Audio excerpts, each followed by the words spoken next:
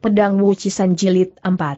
Pedang bayangan berkilat-kilat, melingkari tubuh orang itu. Si kakek pendek menggunakan senjata dwi guna dengan baik, senjata itu memainkan tipu-tipu ilmu pedang. Menonton lagi beberapa waktu, tiba-tiba Sutuyan teringat kepada seseorang, hatinya berpikir. Mungkinkah si pedang dwi guna Golkit? Hanya Golkit yang memainkan ilmu pedang dengan senjata yang bukan pedang, Walaupun demikian bentuk senjata itu agak mirip dengan pedang, maka dinamakan pedang dwi guna. Sutuyan belum melihat bagaimana bentuk pedang dwi guna, tapi dari care-care permainan kakek pendek yang tua itu, ia menduga kepada Golkit. Si pedang dwi guna Golkit adalah bekas kepala jagoan, menguasai sesuatu daerah kekuasaan, ilmu silatnya tinggi, khusus ilmu pedangnya sangat luar biasa. Setelah Kong San Giok menguasai rimba persilatan, Go Kit ditantang, hasil dari pertandingan itu adalah kekalahan untuk si pedang Dwi Guna, umurnya sudah tua, terpaksa harus mengundurkan diri. Semakin diperhatikan Su Tuyan semakin yakin kepada dugaannya, segera ia berteriak. Hei, bagaimana hubunganmu dengan si pedang Dwi Guna Go Kit? Kakek pendek itu adalah si pedang Dwi Guna Go Kit, Mendengar teriakan Sutuyan, perhatiannya terpisah, ia menjadi lengah, hampir-hampir dilukai oleh Xiean. Karena itu ia mengamuk, memutar pedang Dwi Guna, menghujam Seng lawan dengan serangan yang bertubi-tubi. Xiean juga sadar, orang yang dihadapi adalah si pedang Dwi Guna, bukan manusia biasa, ia melawannya dengan hati-hati. Xiean ada tujuan untuk mengalahkan si pedang selatan Kong San Giok, juga ingin menekan kekuasaan si pedang utara Aoyang Ie. Diketahui bahwa dirinya sedang berhadapan dengan pedang Dwi Guna Golkik, orang bekas pecundang Kong San Giok. Sebelum mengalahkan si pedang selatan, ia harus mengalahkan orang ini dahulu. Gokit pernah dikalahkan Kong San Giok, karena itu ia menaruh dendam, menyembunyikan dirinya, melatih ilmu silat dengan rajin, maksud tujuannya sangat jelas, ia harus menuntut dendam itu. Kini telah berhasil, ia menerjunkan dirinya ke dalam rimba persilatan lagi, tujuannya ialah mencari Kong San Giok, menuntut balas, bila tidak dapat mengalahkan Xian, bagaimana ia menempur Kong San Giok. Karena itu, semakin lama, serangannya semakin gencar. Wut, Wut Xian dihujani serangan. Xian juga jago silat mandraguna, kedudukannya tidak kalah di bawah Kong San Giok dan Ouyang Ie, walaupun nama si pedang Dwi Guna sangat besar, ia pun tidak takut. Terang, terang, beberapa kali ia menangkis serangan itu. Pedang Dwi Guna kontra pedang bayangan. Luar biasa, sangat seru sekali. Terdengar Golkit tertawa dingin, ia mengubah cara penyerangannya, kali ini dengan tangan kiri, di mana jari-jari orang itu terpasang kuku-kuku palsu, sangat beracun, maksudnya menambah keangkeran dirinya. Xian bermata tajam, ia tahu akan jahatnya kuku beracun, hanya sepintas lalu, ia dapat menduga kepada tipu muslihat musuh, tipu harus dilawan dengan tipu, sengaja ia maju dua tapak, membuka lebar-lebar bagian dada, itulah kekosongan. Gokit girang, kiranya kesempatan bagus untuk mengalahkan lawan, cepat sekali, kini ia menyerang, tapi bukan dengan kuku jari, hanya dengan pedang, ia masih sangat berhati-hati. Perangkap Xiean tidak membawa hasil yang baik, tapi cukup untuk mengambil alih kedudukan bagus, kini ia menggencet lawan itu dengan bayangan-bayangan pedang. Gokit mulai gelisah, ia telah tua, hampir mencapai 60 tahun, tenaganya banyak berkurang, setelah bertempur lama, hal itu dirasakan sekali. Bila pertempuran diteruskan, Xian akan keluar sebagai pemenang, semakin lama si pedang bayangan semakin galak, semakin gagah juga ia menyerang. Berbeda dengan keadaan Xian, keadaan Gokit kian memburuk, kini terdesak mundur. Xian siap mengakhiri pertempuran itu, beberapa jurus lagi, pasti ia dapat menjatuhkan lawannya. Di saat ini, terdengar satu suara memecahkan suasana pertempuran. Ha, ha, tidak aku sangka, pedang bayangan Xian dari daerah Tiangpek turut memasuki daerah Tionggoan.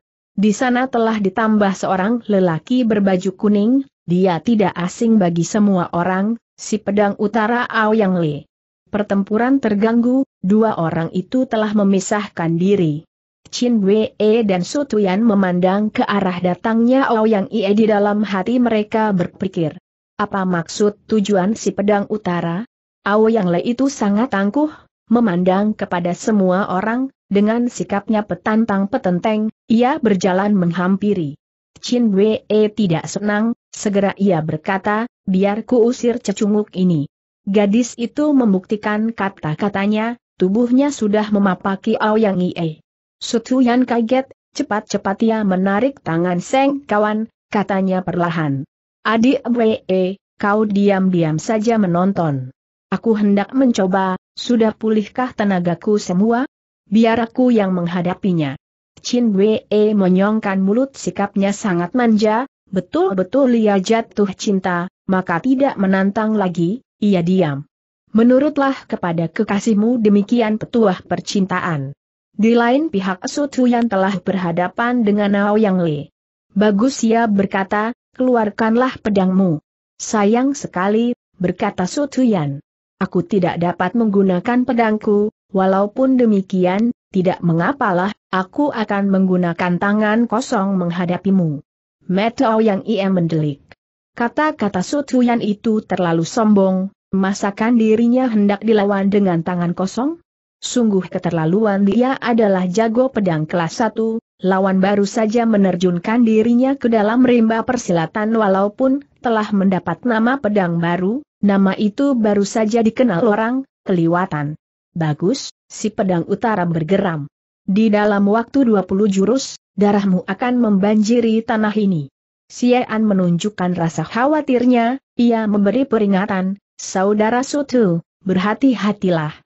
Aku tahu, berkata Sutuyan yang sudah siap, sebagai murid Jiok Dokjak, kepandaian pukulan tangannya tidak kalah dari ilmu pedang yang dimiliki, maka ia tidak gentar sama sekali pedang Awo yang ie berujung lengkung termiring-miring, jago itu memajukan pedangnya. Awas serangan pedangnya memberi peringatan. Melihat care pembukaan serangan Awo yang ie si pedang bayangan. Sian terkejut, di dalam hati jago ini memuji. Hebat. Nama pedang utara memang bukan nama kosong. Tujuan Sian memasuki daerah Tionggoan berpokok pangkal mengalahkan pedang utara dan selatan dengan care demikian, dia akan menonjolkan diri, menjadikan dirinya menjadi kepala dari tiga ahli pedang di masa itu. Kini menyaksikan ilmu pedang Awo yang ia yang hebat dan luar biasa, kepercayaannya kepada ilmu kepandaian diri sendiri merosot banyak, ia harus berpikir masak-masak, sebelum menantang orang mengadakan pertempuran impiannya menjadi sirna. Kecuali mengkhawatirkan keselamatannya Seng kawan, Mungkinkah Su Tuyan dapat menyelesaikan pertempuran tanpa luka? Mengingat lawan itu terlalu kuat, di atas Su Tuyan. Tahu sedang berhadapan dengan musuh kuat, Su Tuyan menggunakan ilmu cengkeraman tangan langit Tian Monie Hun Chao, mencengkeram ke arah gagang pedang. Ao yang Ie sangat marah, di dalam hati jago itu berkata, kurang ajar, kau sangat menghina orang, berani memandang rendah dari kuhi hanya menggunakan sepasang tangan kosong, hanya dengan satu cengkeraman, ingin merebut pedangku? Bukankah sudah bosan hidup sama sekali? Sengaja disodorkan pedang ke arah Sutuyan, dengan maksud tujuan, setelah datang dekat, ia memapas jari yang sangat kurang ajar itu. Tangan Sutuyan merangsang semakin dekat. Awo yang ia siap melaksanakan rencananya, Tiba-tiba matanya terbelalak secepat itu dia melihat akan adanya satu kabut hijau yang mengelilingi tubuh lawannya, itulah tenaga Iebok Chin Hye. Aa, cepat-cepat tahu yang ia menjauhkan diri dari uap itu, hatinya menjadi ciut, itulah ilmu Itebok Chin Hye, ilmu kabut hijau, juga merupakan salah satu ilmu mujizat di zaman purbakala. Yang le harus bertemu dengan kenyataan, Jelas dan gamblang bahwa Sutuyan memiliki ilmu 13 jari menguasai alat paipa, paipa kepsa sanciu dan cengkeraman tangan langit. Tian Momi Hun Chao, dua macam ilmu mujizat dari zaman purbakala. Hal itu sudah cukup menggetarkan, kini dilihat lagi salah satu dari delapan tipe mujizat lainnya, berapa banyakkah si pemuda dapat meyakinkan ilmu-ilmu mujizat dari zaman purbakala? Mungkinkah pandai keseluruhannya? Luar biasa ternyata lawan itu memiliki ilmu-ilmu mukjizat dari zaman purbakala, pasti tidak akan merajai dunia persilatan.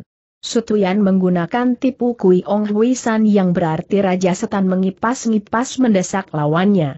Ao yang Ie harus menarik mundur pedang yang telah dikedepankan, ditekan ke bawah dan menjauhi diri. Meskipun bertangan kosong, dengan disertainya ilmu kabut hijau Bak Chen Hie, Serangan-serangan Sutu yang lebih berbahaya dari serangan pedang Aoyang Ie, ia berhasil mendesak ahli pedang itu. Kalau bukan Aoyang Ie yang ditempur si pemuda, musuh itu sudah lama dijatuhkan olehnya.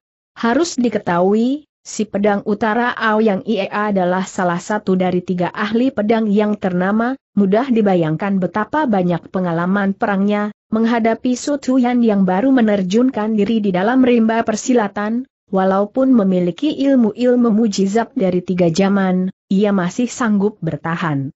Chin Wei dan Xie yang turut menyaksikan pertandingan itu menjadi lega, kemenangan berada di pihak mereka, tanpa mengkhawatirkan keselamatan Su Tuyan, mereka dapat melihat perubahan-perubahan ilmu silat kedua orang itu, dengan pandangan-pandangan yang lebih tajam dan lebih jelas. Seratus jurus telah dilewatkan. Di bawah rangsakannya Sutuyan, Ao Yang Le masih sanggup mempertahankan diri, pedang bengkung dimainkan begitu rupa, sehingga melarang lawannya mendesak melewati batas. Sutuyan melompat ke samping, lagi-lagi mengancam gagang pedang, maksudnya merebut senjata itu dari tangan orang. Ao Yang Le menggeram, ia tidak mundur juga tidak menjauhkan diri, hal itu akan mengakibatkan terdesaknya ke belakang, pedang dimiringkan, menyerang cepat. Metus Tuhan bersinar, itu pun suatu kesempatan, cengkeraman tangan menurun ke bawah, dengan suatu gerakan yang aneh luar biasa, menyusul larinya gagang pedang orang. Yang leh semakin gentar, ia mengeluarkan napas dingin, itulah ilmu iblis sakti bermain silat, ilmu khas dari si jago sesat nomor satu Ciopok Jia. Bagaimana si pemuda dapat mewarisinya? Tentu saja si pedang utara tidak tahu bahwa Su Tuyan adalah murid dari jago sesat luar biasa itu. ILMU Iblis Sakti bermain silat telah menjatuhkan banyak jago-jago ternama, dimainkan oleh Su Tuyan untuk menyerang pedang utara ke mana pun musuh pergi, ke kanan dan ke kiri, ke belakang atau ke depan, tubuhnya masih mempunyai waktu untuk membayanginya, pasti ia dapat merebut pedang orang. Aoyang Ia bingung. Yang Ia tidak habis mengerti, bagaimana Kong Sun Giok dapat mengalahkan pemuda kosen ini, sedangkan dirinya tidak sanggup mengalahkannya. Ia telah menggeretek gigi, dengan menempuh suatu bahaya besar, Yang Ia melepas pedangnya, membiarkan direbut oleh si pemuda.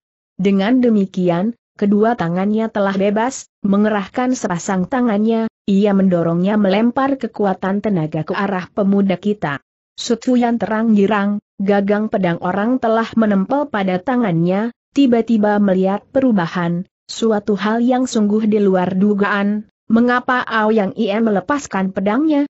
Walaupun demikian, ia tidak takut, arah jari tetap mengikuti bayangan gagang pedang, di lain pihak, dia pun sudah bersedia mengundurkan diri.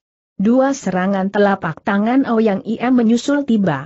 Sutuyan baru tahu, Sampai di mana lihainya si pedang utara, bila diteruskan usaha merebut pedang lawan, setelah berhasil mendapatkannya, ia akan menderita luka, dipukul oleh pedang utara yang sudah tiada berpedang itu. Hal itu tidak diinginkannya, terpaksa dia menarik pulang tangan tadi, meninggalkan senjata yang baru didapat dan memapaki datangnya serangan sepasang telapak tangan Aoyang Le. Aoyang Ie berhasil, ia membalikan telapaknya, menarik pulang serangan, pedangnya pun melayang turun, cepat menyanggahnya lagi, senjata kembali kepada si pemilik. Setelah itu, angin pukulan Sutuyan datang, cepat-cepat ia berjumpalitan mundur jauh ke belakang. Pertempuran telah selesai. Sutuyan tidak berhasil merebut pedang orang, ia hanya dapat memaksa si ahli pedang melepaskan senjatanya, hanya beberapa saat, itu pun cukup membuktikan bahwa ilmu kepandaiannya tidak berada di bawah si pedang utara Aoyang Li. Aoyang Ie telah meletakkan kedua kakinya di tanah, memandang Su Tuyan dan berkata kepadanya, Ingat baik-baik kejadian hari ini aku akan menuntut balas. Cepat sekali, si pedang utara membalikan diri, tubuhnya melejit meluncur jauh, meninggalkan Sutuyan sekalian. Sutuyan memenangkan pertandingan itu, ia tidak mengadakan pengejaran. Sian menghampiri kawannya, dengan bangga ia berkata, Saudara Sutu, menyaksikan pertempuran tadi, Betul-betul aku harus tunduk kepadamu ilmu kepandaian kita orang hanya dapat menduduki urutan-urutan nama, setelah di bawahmu. Sutuyan menggeleng-gelengkan kepalanya, ia berkata, Saudara Sia jangan cepat-cepat memberi pujian, bila bukan. Karena kesombongan Ouyang Ie yang terlalu memandang rendah. Bagaimana aku dapat mengalahkan dirinya Chin Wei juga turut maju, gadis ini berkata. Kulihat, jurus terakhir yang kau gunakan agak mirip dengan ilmu iblis sakti bermain silat, mungkinkah salah satu perubahan dari tipu silat ilmu itu? Tidak salah, itulah yang dinamakan tipu mengendalikan manusia dari ilmu silat iblis sakti bersilat. Hai! Bila cepat-cepat kau menggunakan ilmu itu, mana mungkin Nao yang Ie sanggup bertahan sampai ratusan jurus? Sutuyan berpikir sebentar, dan ia menganggukkan kepala, apa yang gadis itu kemukakan memang masuk di akal, sayang ia belum berhasil meyakinkan semua ilmu iblis sakti bermain silat, bila bukan berada di dalam keadaan terpaksa, ia tidak mau sembarang menggunakannya. Ilmu itu tidak mudah dipelajari, ia memberikan keterangan, ada beberapa jurus di antaranya belum dapat ku mainkan baik dua, mana berani aku sembarang menggunakannya. Sian celingukan, Tiba-tiba ia berteriak eh, ke manakah larinya Golkit tadi? Chin Wei dan Su yang teringat akan si pedang Dwi guna Golkit, menggunakan lengahnya semua orang, ia telah melarikan diri. Biarlah, berkata Su Tuyan. Belum diketahui bagaimana maksud tujuan dirinya, mungkinkah ia bernaung di bawah panji kebesaran orang? Huh, tidak peduli demi kepentingan siapa ia bekerja, bila lain kali bersua lagi, Biar aku yang menghadapinya, berkata Xian. Betul, seharusnya kau yang menimpalinya, berkata Chin Wei, kalian adalah sepasang, sama pendek dan sama gemuknya, aku heran, mengapa menyerahkan kedudukan Bengcu kepada Kong San Giok, seharusnya dia mengajak kau bekerja sama. Lagi-lagi dia mencemoohkan Xian yang gemuk pendek. Xian mendelikan matanya, ia berkata, entah kapan, kau melahirkan seorang anak yang bopengan, itu waktu, kau tidak akan mentertawakan orang lagi? Cis, Chin Wei meludah, tidak tahu malu. Gadis itu membuang muka, Sian tertawa, ha, ha, ha titik. Marah lagi koma ha, titik jangan khawatir, saudaraku ini tidak akan membiarkan kau melahirkan seorang anak yang bopengan, pasti cakap tampan seperti bapaknya.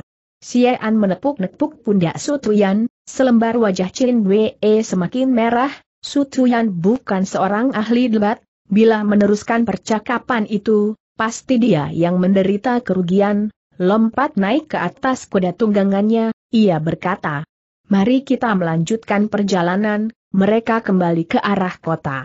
Berjalan beberapa waktu, di depan mereka terlihat sebuah kereta yang ditarik oleh empat kuda berbulu putih, kusir kereta menutup wajah mereka dengan kerudung kain, sangat menegangkan bulu Roma. Di belakang kereta mewah itu juga terdapat dua pengiring, kuda mereka pun berbulu putih, mereka juga mengenakan tutup kerudung muka, tidak mau memperlihatkan wajah aslinya. Itu waktu, Xian sedang bercakap-cakap dengan Sutuyan tentang ilmu pedang Mayanada, karena munculnya ilmu pedang itu, tidak sedikit jago-jago rimba persilatan yang menjadi korban. Hasil dari perebutan ilmu pedang, ia jatuh ke dalam tangan yang mulia I.S. Yauhu, itulah kakek tua Ian Eng. Yang mulia I.S. Yauhu banyak menanam budi kepada tokoh-tokoh rimba persilatan, tangannya licin, ilmu kepandaiannya tinggi, budinya luhur, maka semua orang tunduk kepadanya. Setelah mendapatkan ilmu pedang Mayanada, ia berkata kepada semua orang, bahwa dia tidak akan mempelajari ilmu itu, juga tidak menerima murid, tidak menurunkan ilmu pedang mukjizat, termasuk anak keturunannya dan cucu keturunannya, ia melarang mereka mengutip ilmu itu. Rimba persilatan tenang untuk puluhan tahun, kini kau muncul di antara persengketaan itu, kukira dunia akan bergolak lagi. Hati Sutuyan seperti jatuh tenggelam ke suatu tempat yang dalam, mungkinkah hal itu dapat terjadi? Mengapa dunia bergolak? Begitu pentingkah ilmu pedang Mayanada sehingga dapat memerahkan mata semua orang? Chin Wei lebih memperhatikan keadaan ia melihat kedatangannya dua penunggang kuda berkerudung arah tujuannya semakin mendekatinya. Awas ia memberi peringatan ada orang yang menuju kemari. Sutuyan bersikap sangat tenang, beberapa banyak pun orang yang datang, hal itu tidak akan mengganggu dirinya. Sian tertawa, dia gemar kepada keramaian, Datangnya orang-orang yang dapat dijadikan lawan latihan mengadu kekuatan memang sedang diharapkan, dengan tertawa yang, si gemuk pendek berkata. Masing-masing seorang, bagaimana tiga lawan tiga? Ia meminta pendapat Sutuyan. Maksudnya mendemonstrasikan ilmu kepandaian mereka, masing-masing mereka harus menangkap. Seorang siapa yang lebih cepat, orang itu akan keluar sebagai juara pemenang, Xian mengadakan tantangan. Sutuyan tertawa. Tunggu sebentar lagi, betulkah mereka bermaksud tujuan kepada kita bertiga ia memberi usul. La tidak mau diganggu, juga tidak mau usil mengganggu orang, bila dugaan itu betul, itu waktu kita bergerak. Baik, Xian setuju. Dua penunggang kuda bulu putih itu sudah mendekati mereka, wajahnya tertutup oleh selaput kain, tidak terlihat jelas, Bagaimana wajah di balik tutup kerudung itu, hanya terlihat mata-mata mereka yang bersinar terang, kain kerudung di bagian mata dilubangi, memudahkan untuk melihat orang. Tidak dapat disangsikan lagi, mereka bertujuan kepada Sutuyan. Beberapa tapak dari jarak yang mereka tentukan Sian berteriak.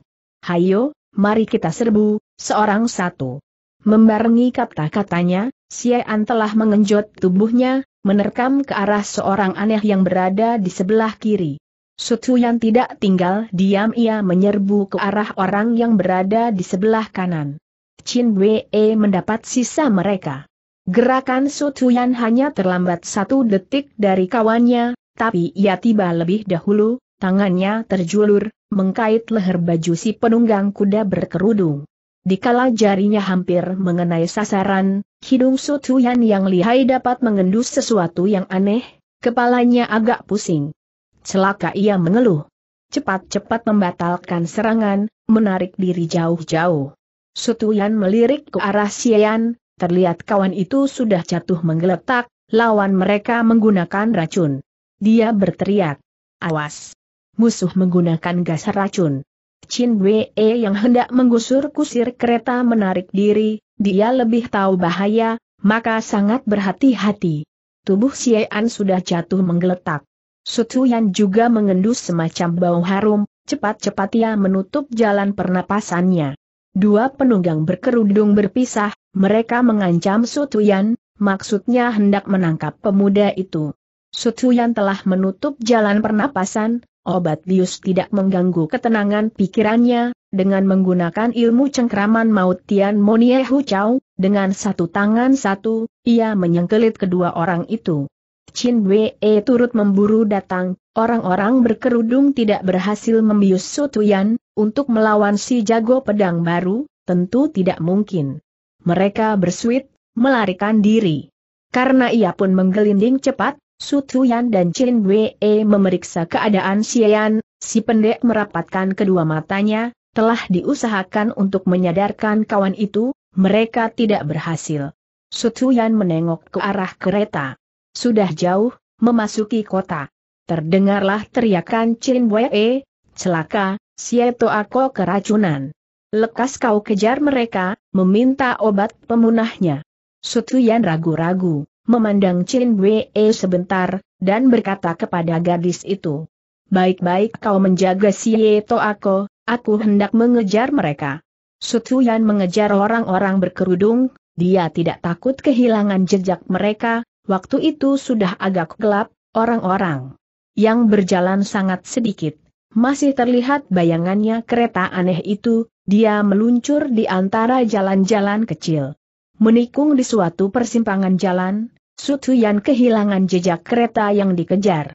Hatinya sangat gelisah, bila tidak cepat-cepat mendapatkan obat penawar racun, keadaan Xiean sangat membahayakan jiwa jago itu.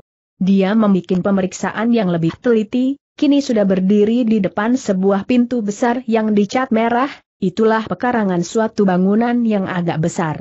Keadaan bangunan itu sangat sepi dan sunyi, diduga keras bahwa kereta misterius yang dikejar telah berada di dalam bangunan megah ini. Sutuyan berpikir, mungkinkah kereta itu masuk ke dalam rumah? Mengingat waktu yang sangat mendesak, memikir keadaan luka Siean yang harus cepat-cepat mendapat pengobatan, tanpa memberitahu atau mengetuk pintu lagi, Sutuyan lompat ke atas tembok dari bangunan rumah itu. Hut titik hut, dua bayangan saling susul menyusul datangnya pemuda itu. Kecepatannya tidak dapat dilukiskan dengan pena. Sutuyan telah siap, dengan tipu Cui Pai Chiu, dia menolak dua serangan tadi. Terdengar gedebruknya benda keras, dua tubuh orang yang menyerang dirinya telah dibanting jatuh. Matanya memandang keadaan pekarangan depan dari bangunan itu, kereta yang sedang dikejar telah berhenti di pojok, tidak, salah masuk, hatinya menjadi lega. Empat orang berbaju hitam telah mengurung Sutuyan. Si pemuda meletakkan kakinya di tanah, memberi hormat kepada mereka dan berkata, Majikan kalian ada di rumah? Empat orang berbaju hitam menyerang semakin gencar, dua kawan mereka telah dilukai inilah sakit hati, mereka hendak menuntut ganti rugi, dan langkah pertama harus menjatuhkan lawannya. Sutuyan menangkis beberapa kali, dia harus lebih berhati-hati. Karena yang hendak ditemukan berada dalam pekarangan rumah itu, hal ini bukan berarti ia harus bermusuhan dengan tuan rumah, besar kemungkinan salah seorang tamu dan penghuni rumah itu. Agar tidak menanam banyak permusuhan, ia berteriak lagi. Di manakah tuan rumah? Orang berbaju hitam tidak memberi jawaban, muncul lagi enam orang, jumlah mereka tepat angka sepuluh dan semua mengurung si pemuda. Sutuyan tidak gentar, bila ia mau, dengan beberapa jurus, ia dapat membunuh atau melukai orang-orang itu. Tapi ia cukup sabar. Bukanlah suatu langkah bijaksana untuk mengembangkan pembunuhan-pembunuhan atau menjalankan ilmu silat sendiri. Hei, siapakah yang menjadi tuan rumah yang mengulang pertanyaannya? Jumlah orang-orang berbaju hitam semakin besar, satu persatu bermunculan di pekarangan yang memang cukup luas untuk digunakan sebagai medan pertempuran, satu persatu mencampurkan diri mereka ke dalam gelanggang. Sutuyan melayani keroyokan orang berbaju hitam. Merangsek mereka, setapak demi setapak, ia melangkahkan kaki ke tanah bagian dalam tidak seorang pun yang dapat menghadang perjalanannya. Tangannya direntangkan, dengan tipu silat dari zaman purbakala yang sudah hampir dilupakan orang, dengan 13 jari mengkuasai alat paipa, paipa Kepsa Sanciu, dia mengirim beberapa kaitan, di dalam sekejap mata sembilan orang berbaju hitam telah diterbangkan. Hut, hut dua kali pukul lagi, dia bisa mengusir semua orang. Kakinya diayun, hendak masak ke dalam ruang tengah rumah itu. Terdengar satu suara yang tertawa gelak-gelak, disusul oleh munculnya satu bayangan tinggi besar, meluncur dan memapaki kehadirannya Sotuyan. Mereka mengadu tangan. Hasil dari perpaduan itu sangat mengejutkan Sotuyan, juga mengherankan orang tua yang bersangkutan, dia adalah orang tinggi besar itu. Untuk pertama kalinya dia menjumpai jago muda yang mempunyai kekuatan tidak mudah. Sutuyan menduga kepada tuan rumah ia berteriak, Ciampoe yang menguasai rumah ini? Orang tua tinggi besar itu tertawa bergelak-gelak.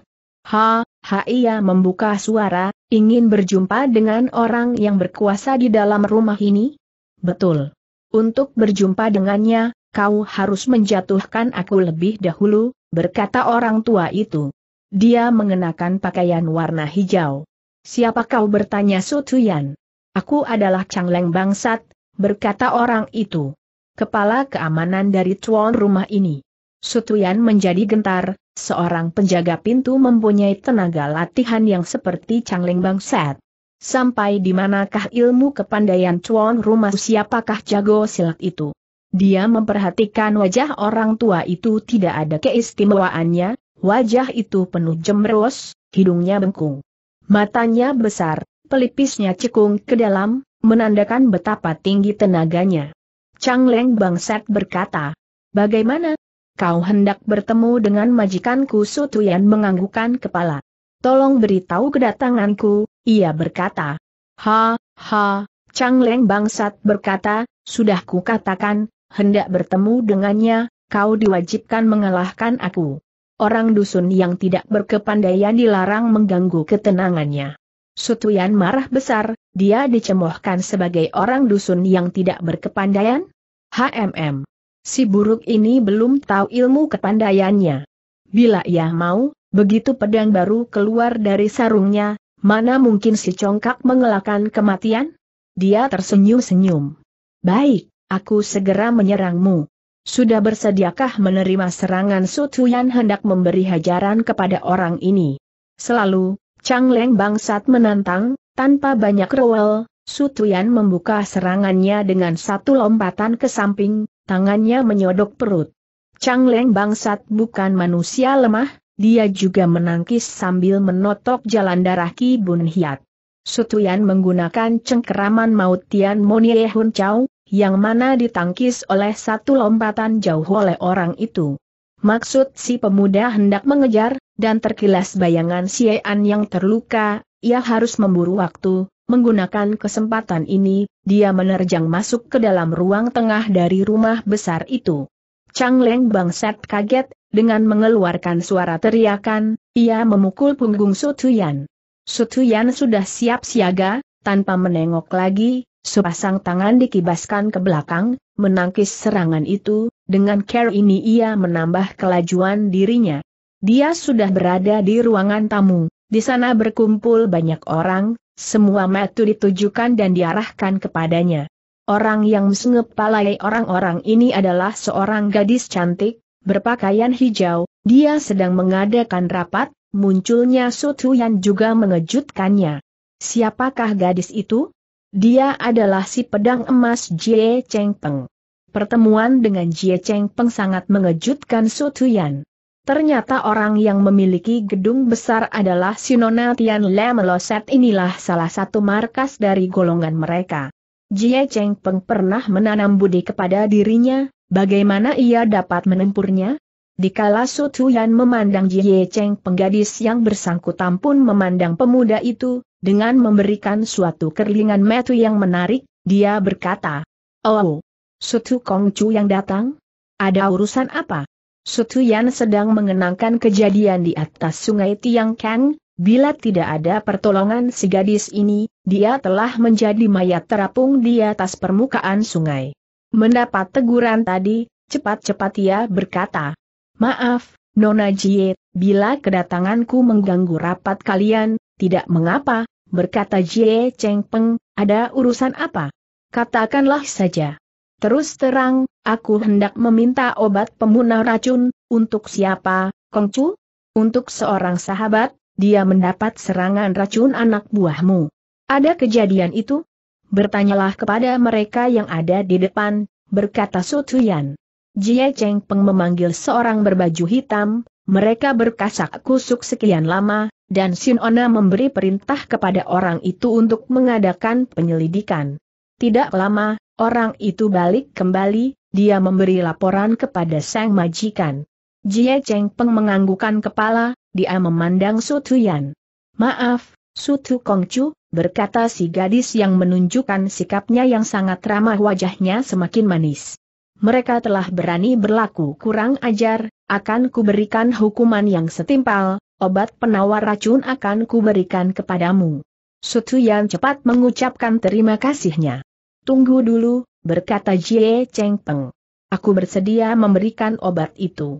Di sini masih banyak ciampoe-ciampoe yang mempunyai tingkat derajat di atasku, mungkin mereka tidak puas, beginilah kuatur, akan kulayangkan obat itu kepadamu, bagi mereka yang tidak puas diperbolehkan merebutnya, bila kau berkelit menghindari rebutan itu, obat boleh kau bawa pergi. Sebaliknya, bila kau tidak berhasil menyanggah obat, sehingga direbut oleh orang, aku pun tidak berdaya. Sutuyan menganggukkan kepala, dia menyetujui usul itu. Jie Cheng Peng telah mengeluarkan obat yang diminta oleh Sutuyan. Dia sudah bersiap-siap untuk melontarkannya. Tiba-tiba masuk seseorang, dia adalah Chin Wei, di atas punggungnya tergembol seorang, itulah si pendekar pedang bayangan Xiean. Xiean masih belum sadarkan diri, keadaannya tidak mengalami perubahan. Jie Cheng Peng mengkerutkan alis, dia marah kepada penjagaan-penjagaan anak buahnya yang dianggap kurang ketat membiarkan lawan memasuki ruang siang. Sutuyan memandang Chin Wei. Eh, bagaimana kau berhasil menyusul aku sampai di tempat ini ia heran. Chin Wei melihat situasi di tempat itu, hadirnya Jie Cheng Peng sangat menjengkelkan dirinya, ditegur oleh Seng kawan, ia semakin bersungut-sungut. Bagaimana kau berhasil menyusulnya sampai di tempat ini? Ia menggunakan kata-kata orang mengulang pertanyaannya, sangkanya, Sutuyan mengintil di belakang Jie Cheng Peng, melupakan pengambilan obat penawar racun. Sutuyan tersengit. Chin Wei telah salah mengerti. Dia wajib memberi penjelasan.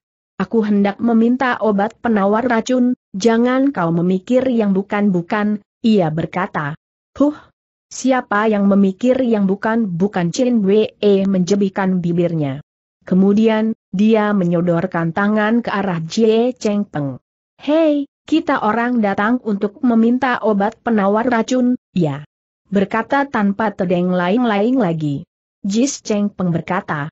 Bertanyalah kepada dia, adakah aku menolak permintaannya dia menunjuk ke arah Su Tuyan. Si pemuda semakin canggung, untuk menghindari diri dari ketidakserasian itu, cepat-cepat Su Tuyan berkata, serahkanlah obat itu. Jie Cheng Peng mengacungkan obatnya, suatu tanda bahwa dia tidak mempunyai hati untuk mempersulit Su Tuyan.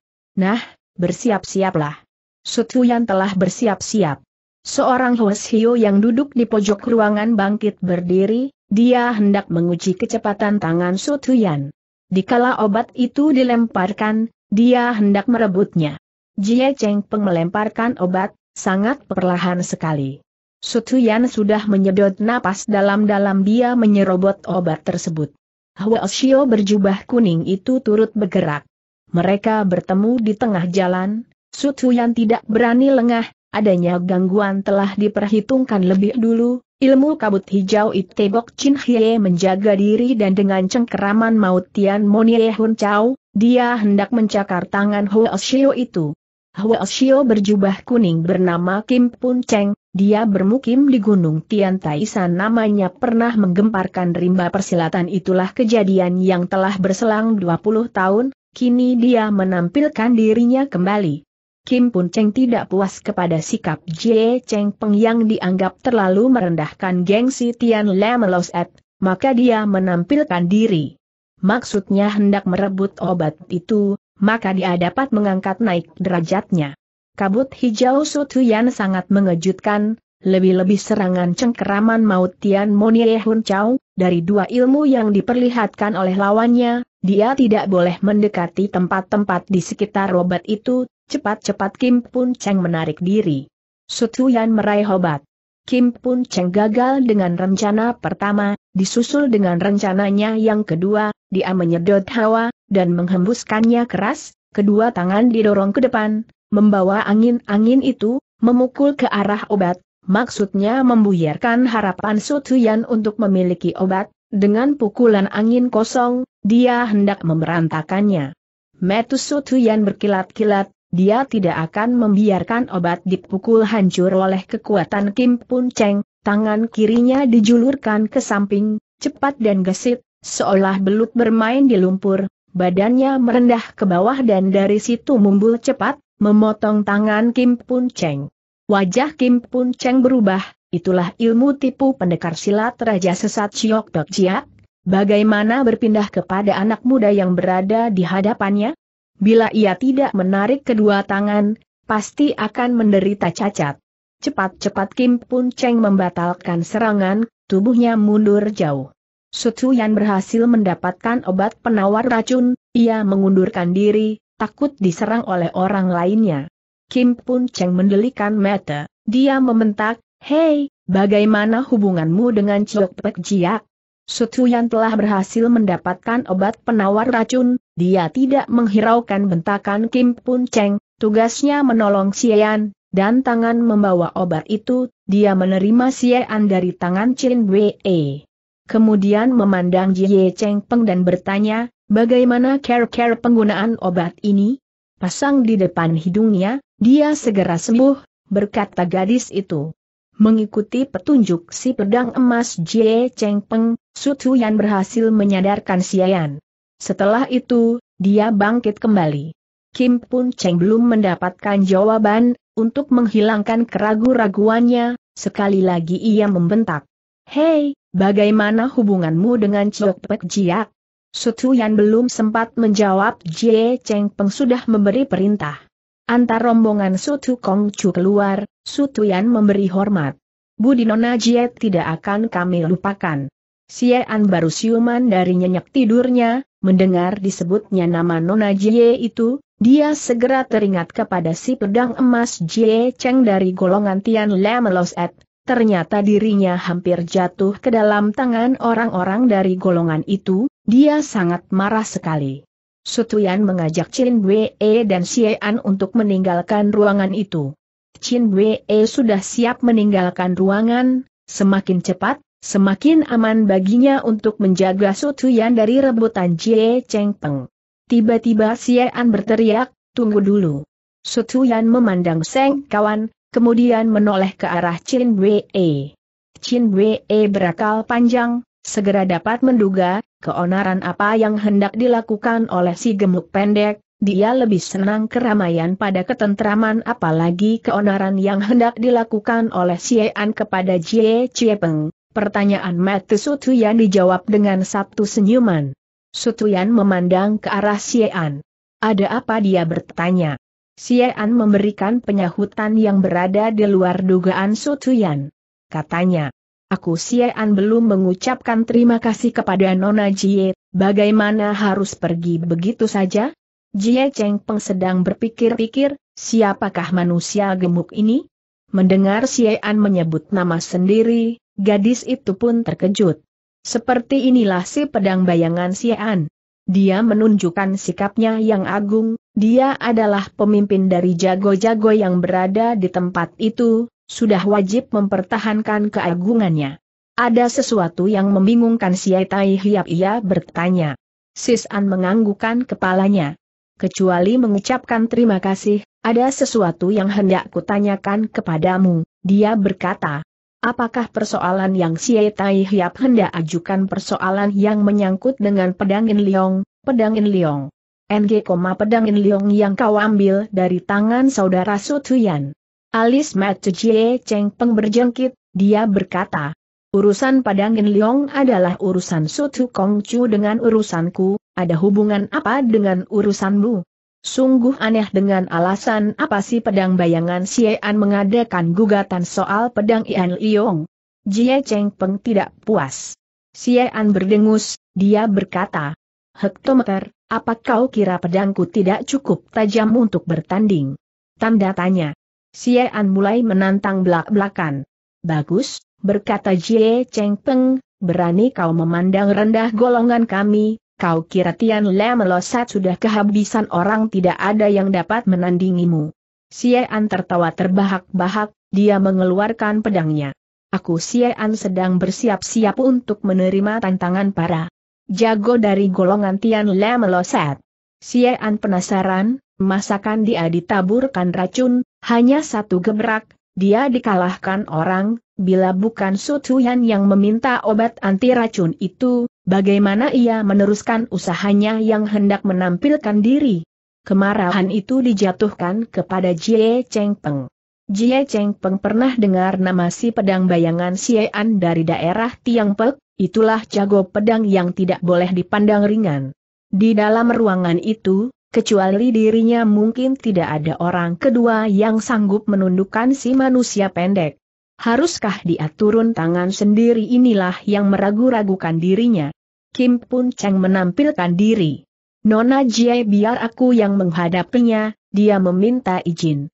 Jie Cheng Pang menjatuhkan pilihannya kepada Kim Pun Cheng, dia sedang berpikir-pikir, bagaimana meminta Hwasyo itu mewakili dirinya, memberi hajaran kepada Xie Di saat itu juga Kim Pun Cheng meminta tanda tempur, Jie Cheng Peng menganggukkan kepala. Berhati-hatilah menghadapinya, ia memberi peringatan Kim Pun Cheng menghadapi Xie Biar kedua telapak tanganku yang melayani kau bermain-main untuk beberapa jurus, dia berkata. Xiean mengeluarkan suara bentakan. Sebutkan namamu, Kim Pun Cheng dari Gergo Taisan. Wajah Xiean berubah, nama Kim Pun Cheng pernah menggemparkan rimba persilatan walau telah berselang sampai 20 tahun, nama itu masih disebut oleh beberapa orang. Kalau ia harus berhadapan muka dengan orang tersebut, Bagaimana tidak terkejut? Kim Pun Cheng tertawa terkekeh-kekeh. Bagaimana ia menantang? Masih hendak bertanding? Kemarahan Xiean mengalahkan tekanan nama seram Hwasyo itu, matanya liar kembali, dia pun bukan manusia tanpa nama, siapakah yang tidak tahu kepada pedang bayangan Xiean? Ha, ha, ha, Xiean tertawa, nama Kim Pun Cheng pernah menciutkan hati orang. Kejadian itu telah terjadi 20 tahun yang lalu, bukan hari ini. Generasi muda telah menggantikan semua kedudukan generasi tua, sudah waktunya kau mendapat apel pensiunan, hari ini sudah bukan zamanmu lagi, berlakulah tahu diri, haha, ha. Chin Wei turut berteriak. Lawan Sieto Ako, kami berdua tidak akan tinggal diam, dua Kim Pun Cheng lagi boleh mereka tampilkan. Sutuyan mendelikan mata, dia menatap Seng kawan yang sering usil. Seolah-olah tidak melihat larangan itu, Chin Wei memandang ke lain tempat. Kim Pun Cheng tidak dapat menahan kemarahannya, tanpa bicara dan mengayun tangan, mengirim delapan kali pukulan. Xiean melompat ke samping, dia masih mengejek, hi, hi, hi. Ke manakah senjata mangkuk emas? Delapan kali ia menghindari pukulan-pukulan Kim Pun Cheng. Nama Kim Pun Cheng berarti padri mangkuk emas, hal itu disebabkan oleh senjata si Huasyo yang tidak lepas dari sebuah mangkuk emas, mangkuk tersebut sering digunakan sebagai tempat untuk sedekah, juga dapat digunakan sebagai senjata, demikianlah asal mulanya nama Kim Pun Cheng. Xiean mendapat gelaran pendekar pedang bayangan, mudah diduga, betapa lihainya ilmu meringankan tubuhnya, bila ia tidak dapat mengelakkan serangan tangan kosong, apa guna ia menampilkan diri di daerah Tionggoan? Kim Pun Cheng terlalu percaya kepada kepandaian diri sendiri inilah kecongkakan, kecongkakan seseorang akan mengakibatkan kegagalan. Demikian juga keadaan Kim Pun Cheng, namanya pernah menggemparkan rimba persilatan. Anggapnya dunia ini tidak berputar, Tetap seperti sedia kala, dia mendapat nama, tidak ada orang yang baru menggantikan kedudukannya, kekalahannya di bawah Sutu yang belum memelekan matanya, dia belum sadar akan kesalahan itu, masih membawakan sikapnya yang sok agung, melawan Xiean dengan tangan kosong. Menyusul delapan kali pukulan-pukulannya, dia maju lagi, mengirim sembilan jotosan-jotosan, lebih cepat dan lebih keras, lebih banyak mengandung perubahan-perubahan tipu silat luar biasa. Xiean hendak mempermainkan orang, sengaja memperolok-olok, maka keseimbangan kondisi Kim Pun Cheng terganggu, bila pikiran seseorang yang terganggu, dia lebih mudah terkalahkan. Pedang Xiean dilayangkan, melayani sembilan jotosan. Kim Pun Cheng sadar dari kesalahannya, setelah hawa dingin pedang Xiean melayang-layang di kanan dan kirinya, di atas dan di bawah kakinya. Di dalam sekejap mata, sembilan jotosannya pun telah dilontarkan semua, kini dia berada di pihak yang terdesak, tangan merogoh saku, hendak mengeluarkan mangkuk emas. Karena itu, Xiean mendapat kesempatan, pedang kekelewangan, mengirim empat tebasan. Kim Pun Cheng tidak mempunyai kelebihan tangan, terpaksa lari jauh ke belakang, melesat mundur. Xian tidak mengejar, dia tertawa tergelak-gelak, ha, ha, ha, ha. Di saat yang sama, Kim Pun Cheng telah mengeluarkan senjatanya, itulah mangkuk emas, dengan membawa desiran suara yang mengaum-ngaum, dia menerjang datang. Xian menangkis burung pedang. Traan Dua macam senjata beradu, mereka saling melotot. Lagi-lagi Kim Pun Cheng menggeram, mangkuk emas dikedepankan menelungkup kepala lawan. Xian meninggikan pedang. Terang. Lagi-lagi mereka mengadu kekuatan, tidak seorang pun dari mereka yang mundur ke belakang, sama kuat. Tangan Xian agak kesemutan, tiga kali lagi mangkuk emas memukul ke arahnya, pasti dia tidak sanggup bertahan. Kim Pun Cheng mempunyai perasaan yang sama, tenaganya telah dikerahkan penuh sangat lelah, tidak sanggup untuk mengirim tiga pukulan mangkok emas lagi. Mereka saling menunggu reaksi lawan.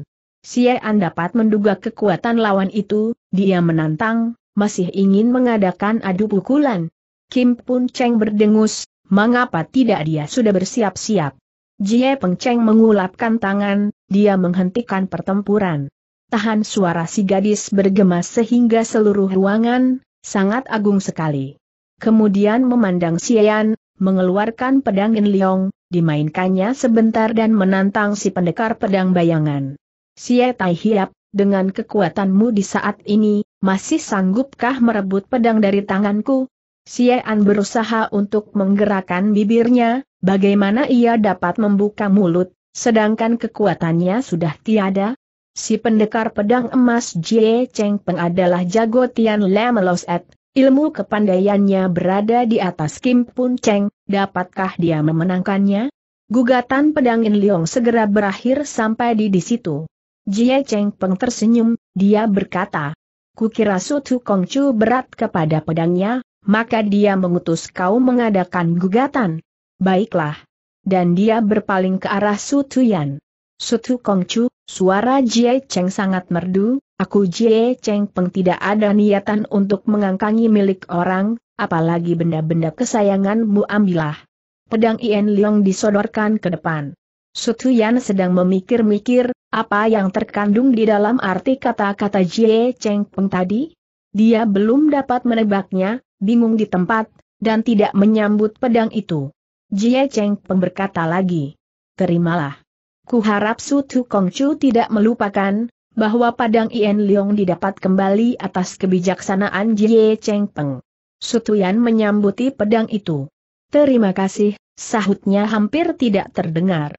Chin Wei menjebikan bibir, Xian membelalakan mata. Jie Cheng Peng berkata lagi.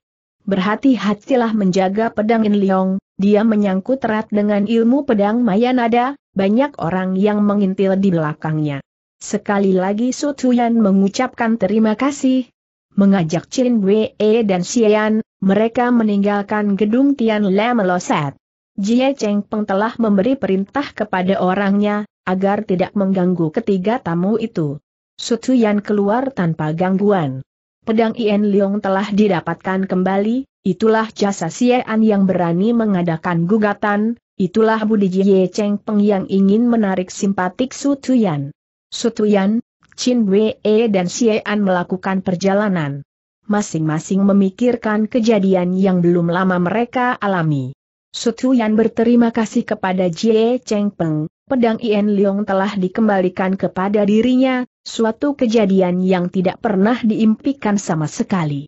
Bila menggunakan kecerdikan otak dan menggunakan ilmu kepandaian silat, tidak mungkin dia dapat merebut pedang, barang yang sudah berada di tangan si gadis yang lihai.